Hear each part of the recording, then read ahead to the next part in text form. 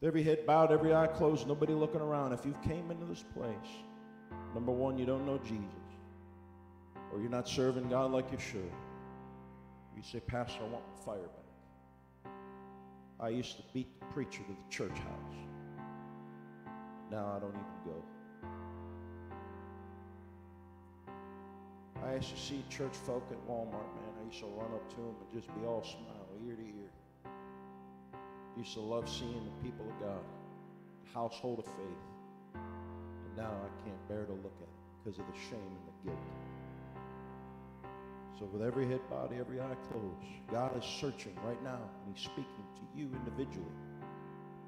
Holy Spirit is moving, and He's speaking to people on a personal level.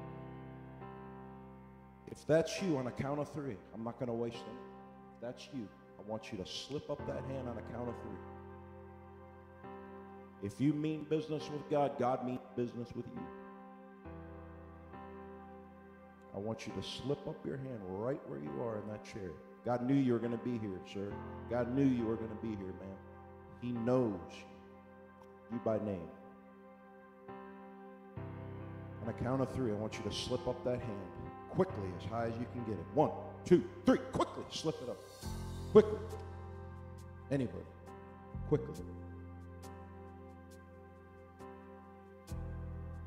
Those watching,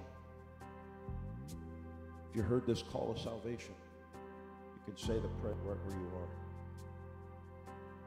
Even in your bed in your pajamas, when you should be in church anyway.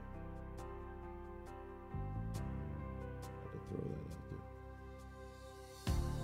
That's you. Quickly, I want you to slip that in. I want you to look at the one next to you and say, Everything good with you? Is your soul right? I'll go up with you. I'll be your battle partner. I'll be, I'll be your accountability partner.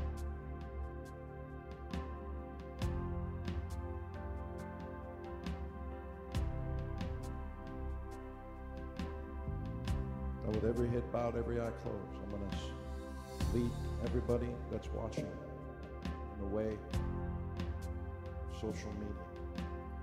Sit this prayer. I want you to say with me Father, in the name of Jesus, come into my heart. Give me my sins. Turn my back on the world. Turn my back on sin. Give you my life. Do with it as you want. I've tried to do things on my own, but I failed every time. So, Father, come into my life. Make me a new creature. I'm the clay. You are the potter.